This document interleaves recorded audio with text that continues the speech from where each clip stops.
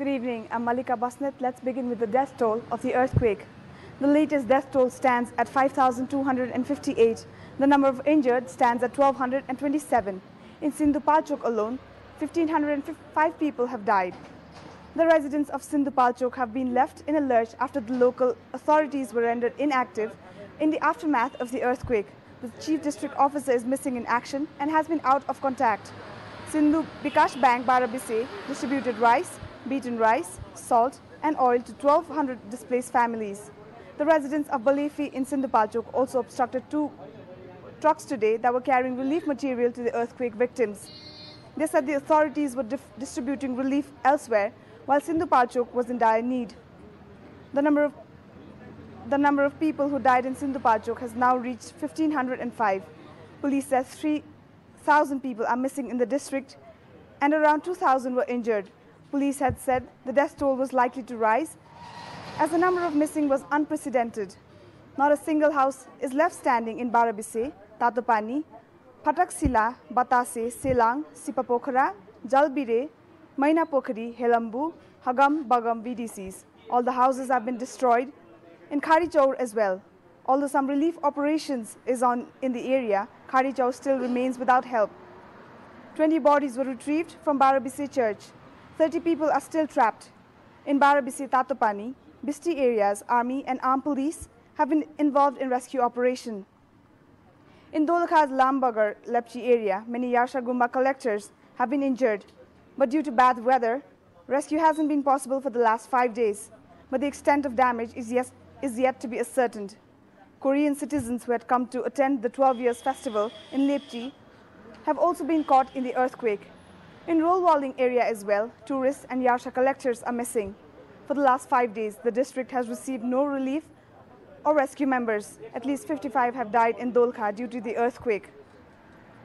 In Gorkha, 391 people have died. Relief and rescue operation has been sped up in the area. Three helicopters were deployed in the area. Helicopters airlifted in the, in, the injured from Laprak, Lapu, Uhiya, Gumda VDCs. The people are being brought to Gorkha head, headquarters. 70% houses in Gorkha district have, have collapsed. In Nuwakot, Nepal Army choppers carried out relief work today.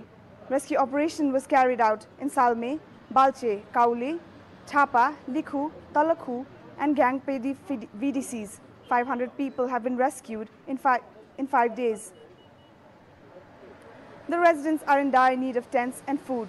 30,000 families have been affected in the area, but only 2,000 tarpaulins have been distributed.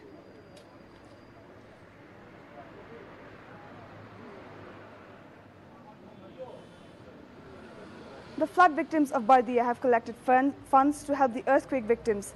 They have saved up to 126,000 rupees through the disaster through the district disaster relief fund. The earthquake victims in Kavri are also yet to receive relief.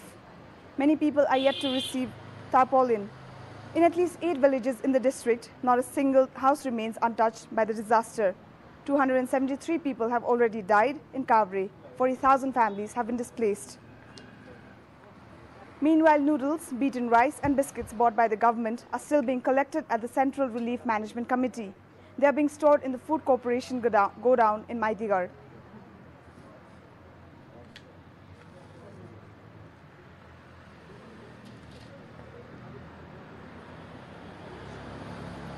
The Kantipur Media Group's non-profit organization, Kantipur Foundation, has established Kantipur National Crisis Assistance Trust to support the victims of the deadly earthquake. Interested people can deposit the assistant amount into account number 001 002231CA of Century Bank. The names of people or organizations donating more than 2,000 will be published in Kantipur Daily and the Kathmandu Post or broadcast over Kantipur television. Similarly, people or organizations donating 200,000 and above will be inducted as partners of the campaign. The amount collected from the donors will be mobilized for the support of victims in the earthquake affected areas.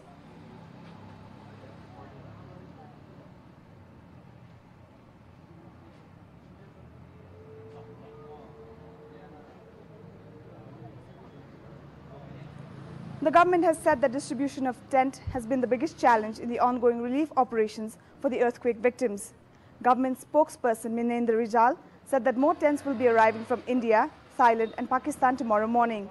He said the relief distribution, distribution process will be made more effective and streamlined in the upcoming days, according to the government. 65,000 army, 31,000 police, and 17,000 armed police personnel have been deployed in nationwide, nationwide in the relief operations. Life in Kathmandu Valley in general has gradually started returning to normalcy with each passing day since Saturday's deathly earth earthquakes. However, few tremors have been felt in the capital this morning and late in the evening. Many people in the capital have already started returning to their homes, taking caution. However, experts have, have advised not to live in houses that are vulnerable to minor quakes or with weak foundations and cracks. Marketplaces, banks, and grocery shops are, too are, are slowly opening up in various places inside the capital. Meanwhile, traffic police has said that nearly 370,000 people have left Kathmandu Valley between 6 a.m. and this afternoon. The Higher Secondary Education Board HSEB has postponed the grade 11 board exams until further notice. The exams were other scheduled for 15th of May. According to the board member secretary Narayan Nirola, the board met at 10, 10 a.m. this morning and arrived at such a decision. Supplies, medicines, rescue teams, and millions of dollars are pouring in for Nepal. Many countries have been involving in donating financial aid or sending in personnel to help with rescue and relief operations. But with so many cargo, cargo and civilian planes flying in to help, Kathmandu's tiny airport is struggling to cope under the strain. Some of the countries and organizations that are currently providing aid to Nepal include the UN that has released $15 million for, for, from its Central Emergency Response Fund for earthquake victims in Nepal. The Asian Development Bank, ADB, has con contributed $3 million, $3 million. Japan has decided to provide over 800 million US dollars in emergency grant aid to the earthquake victims in Nepal. Similarly, the government of Japan has decided to dispatch a rescue team and provide the essential materials to Nepal. US has donated a total of $10 million through US Agency for International Development, USAID.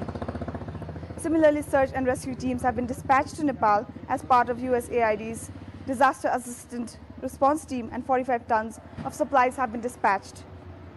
Our neighboring country, India, too has been heavily involved in the aid operation to Nepal since Saturday, sending 1,000 National Disaster Response Force personnel to help with search and rescue efforts. Likewise, India has deployed 13 aircraft, 6 Mi-17 helicopters, and two advanced light helicopters. On Sunday, 10 tons of blankets, 50 tons of water, 22 tons of food items and 2 tons of medicine were dispatched to Kathmandu. China has sent a 62-member search and rescue team on Sunday and has promised $3.3 million in aid, including emergency shelter, clothing, blankets, and power generators. The UK has agreed to provide $7.6 million in aid, of which slightly more than half will address immediate needs in Nepal, with the, with the rest to be donated to the Red Cross, which is helping with rescue and recovery efforts in Nepal. An eight-member team of disaster response specialists has been working in Nepal since Sunday. The World Food Programme is also providing food and supplies as well as logistical support on the ground, and UNICEF has mobilized two cargo flights carrying 120 tons of humanitarian aid, including medical supplies, tents, and blankets.